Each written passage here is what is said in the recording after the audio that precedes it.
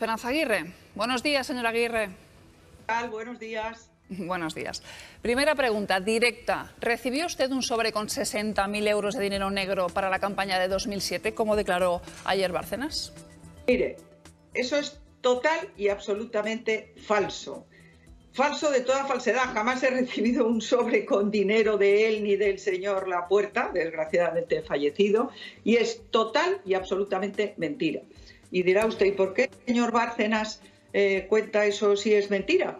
Pues lo cuenta porque esto es el ofrecimiento que él hace a la Fiscalía, que como sabemos por el señor presidente eh, depende del gobierno, y ya, ya le ha producido rédito, porque es que eh, hoy publica Voz Populi que ya le han dado dos permisos de seis días cada uno.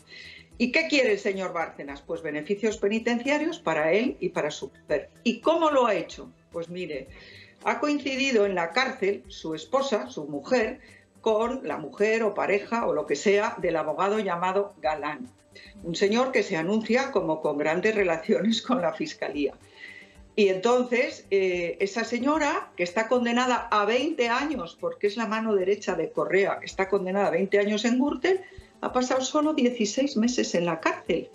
¿Cómo? Pues porque se ha hecho colaboradora con la justicia. Y lo mismo que Bárcenas, mienten, mienten y mienten. Si ha hecho lo mismo el mismo abogado lleva al exalcalde de Majadahonda y el exalcalde de Boadilla, que también declaran contra mí.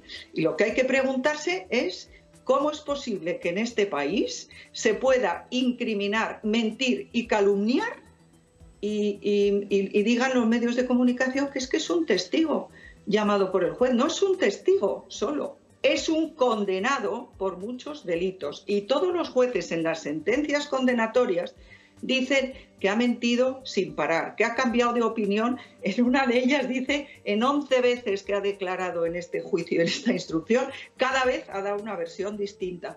Es un señor al que no le importa nada mentir y en este caso además es que tiene algo positivo que conseguir. Mire, ya tiene dos permisos penitenciarios, se publica hoy en la prensa eso. Señora Aguirre, usted deja claro que usted no recibió ese, sobre que dice Bárcenas con dinero negro. ¿Le consta a usted que hubiese donaciones de empresarios al Partido Popular a cambio de adjudicaciones de obras? Pero bueno, mire, es, es que además de esto me he enterado esta mañana, porque lo publicaba ayer Urrezquieta en El Mundo. Resulta que el empresario este Galvez, al que se refiere, ya declaró en el año 14, en el juicio de los papeles de Bárcenas, que ni conoce a Bárcenas, ni le ha dado nunca dinero, ni sabe quién es. Es todo mentira. Entonces, eh, eh, ¿qué pasa? ¿Que, el señor eh, Bárcenas tiene carta blanca para declarar mentiras en todas partes? Pues por eso mismo yo le voy a poner una querella criminal por falso testimonio, porque es que eso, esto es inaceptable. Pero, señora Aguirre, ¿usted pondría la mano en el fuego por sus compañeros del Partido Popular? ¿Diría que ningún dirigente del Partido Popular ha recibido dinero negro? Vamos a ver, yo, yo no, no, tengo por qué, no sé ni, ni, de quién me está usted hablando. Yo lo que pongo la mano en el fuego seguro es por mí. Y la que no la pondría de ninguna manera es por Bárcenas, porque ya han dicho los jueces que no hace más que mentir. Pero sí es que lo dicen los jueces en las condenas que le hacen. Es un condenado convicto y confeso. Y, son sentencias, algunas de ellas que ya han pasado, incluso han sido casadas por el Supremo. O sea que es que, es que la credibilidad de este señor es cero. Bueno, cero no, menos 30. ¿Y no tiene miedo de esas tres cajas que dice Bárcenas que guarda con documentación? Mire, eh, vamos a ver, Mónica, miedo ninguno. Yo llevo muchísimos años en política, muchísimos, pero vamos, fíjese, desde el año 83, que fui elegida por primera vez concejal del Ayuntamiento de Madrid, y sé perfectamente, y lo saben todos los que me rodean, que jamás he hecho con conocimiento nada, no ya digamos ilícito, sino irregular. Me habré equivocado mil veces, por supuesto, claro que me he equivocado muchas veces, pero jamás nada ilícito. Y lo pueden decir no solamente mis compañeros de partido, es que lo pueden decir mis adversarios políticos y de hecho lo han dicho. Vamos a las preguntas de nuestros analistas. Empezamos por Carlos. Sí, señora Aguirre. Eh, estamos, hablando, eh, estamos hablando de los 60.000 euros, pero al margen de esto hay muchísimo... Carlos eres? ¿Me puedes decir? Carlos Cue, muy buenas. ¿Qué tal? Qué nueve. Carlos Cue del País, mucho gusto. ¿Qué tal? Hola, eh, no, lo que le quería preguntar es, al margen de este, de este asunto de, de los 60.000 euros, hay muchísima documentación, muchísimos testigos, muchísima información judicial constatada sobre la financiación ilegal del PP de Madrid. Bueno, además ha habido grandes escándalos sobre los que usted ya ha hablado varias veces, sobre su número 2 y su número 3 que acabaron en la cárcel. Perdón, que no lo escuchamos. No, lo- solo le quería preguntar, eh, ¿usted cree que es posible que... de- perdón, déjeme, déjeme hacer la pregunta. No, por eso es que no te la he oído. ¿Qué, qué Ah, has perdón, dicho? que hay muchísima documentación probada y muchísima investigación judicial y muchísimos procesos que demuestran la financiación ilegal del PP de Madrid. Y además ha habido los casos de su número 2, su número 3, que acabaron en la cárcel sobre los que usted ya ha hablado. Yo le digo, ¿usted cree que es creíble para el espectador que nos esté escuchando? ¿Cree que es creíble que usted no se enterara de nada de lo que pasaba? No, que no me puedes hacer unas afirmaciones que son falsas. Probado no hay nada sobre la financiación del PP de Madrid. Acabaron en la cárcel, el señor Granados y el señor González han estado en prisión preventiva. No les han juzgado a ninguno de los dos todavía, porque nuestra justicia, como este asunto de Púnica empieza en el 14, y mira, estamos en el 21 y todavía seguimos en la instrucción. Y cuando se tenía que haber acabado, este gobierno social comunista eh, que esta, esta instrucción había dicho la audiencia eh, en, en la. En, ¿Cómo se dice? No un juzgado de la audiencia, sino la sala, que tenía que acabarse el 6 de el juez lo prolongó hasta el 28 de agosto. Y ellos, el gobierno, dicen ahora que es que la instrucción no tiene plazo. Esto va a estar aquí hasta que yo, eh, bueno, si Dios me da salud, hasta que pueda ir, eh, yo no sé, con andador o en silla de ruedas. Esto, o sea que es falso que se haya probado nada de la financiación irregular del PP de Madrid. De lo que has dicho, la única verdad es que hay investigaciones, claro que sí. Y yo estoy encantada de que se investigue, porque como a mí no me van a poder probar nada, porque lo saben todos mis eh, compañeros de partido y mis adversarios políticos. Señora Aguirre, la pregunta es si, usted podía, si podía pasar todo eso sin que usted se enterara. Que no ha pasado nada, que yo Nada sepa, ha pasado, no ha, no ha habido ningún tipo de irregularidad en Madrid, todo ha sido impecable. Conozca, que yo conozca, no. No, cuando, oiga, cuando se pruebe eh, y se sentencie, como le han sentenciado a Bárcenas, que a ese sí le han probado y le han sentenciado le ha- eh, eh, y está condenado. No, O sea, hay, decena- hay decenas de imputados, pero no hay nada extraño. no, centenas, es lo que gusta más a la fiscalía. Centenas, usted no sabe la cantidad de gente. Yo porque estoy curtida, como decía Churchill, tengo piel de elefante. Pero hay gente a la que le han destrozado su vida, su empresa. Eh, Este pobre hombre de Pedro que hacía no sé qué, de colocar en... Bueno, pues este está en la absoluta indigencia y, y ha tenido que despedir a todo el personal y- y muchos otros. Aquí hace falta que la justicia sea un poquito más rápida.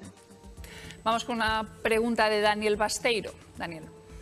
Buenos días, eh, señor Aguirre. Eh, ya hace varios años que la patronal madrileña CEIM, eh, en una investigación interna, pues aseguró que se produjeron pagos a una fundación para el desarrollo económico social de la Comunidad de Madrid, Fundescam, con el objetivo de financiar irregularmente al PP de Madrid. Yo querría preguntarle por qué dice usted que no hay más que declaraciones puestas en duda cuando los propios empresarios ya han reconocido esa financiación ilegal. Se lo digo porque es que esas transferencias fueron públicas, están publicadas y están declaradas. Entonces, lo que dicen, eh, dice, en, fin, algunos eh, testigos de esto dicen, no, es que en vez de la que decía la fundación, que era hacer folletos y hacer seminarios, pues en realidad pagaron unos mítines. No tengo ni idea, pero lo que le puedo asegurar es que todo eso fue transparente y blanco. Está perfectamente certificado lo de Fundescam. Lola García, la siguiente pregunta. Eh, buenos días, señora Aguirre. Eh, a ver, eh, usted hablaba de, de, la Fiscalía, de la actuación de la Fiscalía, de si puede eh, estar actuando pues, eh, Bárcenas con la en comunión con la Fiscalía, pero claro, usted está imputada desde hace más de dos años por un juez, un juez el juez García Castellón, que dijo en el auto de imputación, no sé si me oye. ¿Nos oye, sí. señora? ¿Sí? Sí, el juez dijo en el auto de imputación que, que, no era creíble que usted no conociera lo que estaba ocurriendo, ese, esa, esa, financiación irregular. El juez supongo que no lo considerará, en este caso, manipulado por el Gobierno.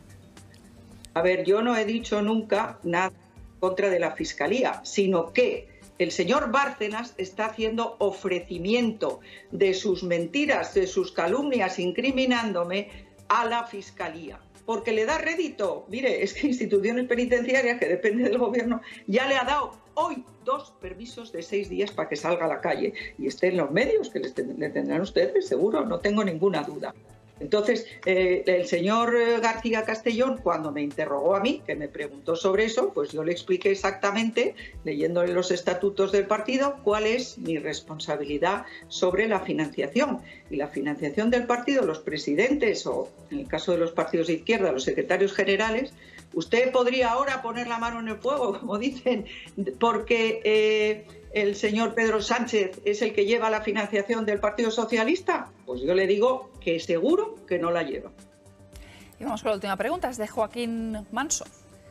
Buenos días, eh, señora presidenta. A ver, esa campaña del año 2007 eh, que dice Luis Bárcenas, que se financió con dinero negro, terminó con, con una celebración de usted en un balcón de la calle Génova. También las campañas de 2003 y la posterior de 2011. Ahora, la dirección de, su partido, después de los malos resultados en Cataluña, que atribuye en parte a las informaciones sobre la corrupción, ha decidido abandonar esa sede. Yo no sé a usted qué le parece esa decisión. A ver, eh, es que ustedes hacen una serie de afirmaciones eh, que parece que quedan en el aire y no, mire, no. El señor Bárcenas no ha dicho que fuera la campaña del 2007, porque como es todo mentira, ha dicho tres veces que le ha preguntado el fiscal que dijera exactamente la fecha, dice, pues no me acuerdo, 2007 o 2008, como tampoco se acordaba ni del apellido de su propio abogado. ¿Y por qué dice que no sabe si es el 7 o el 8?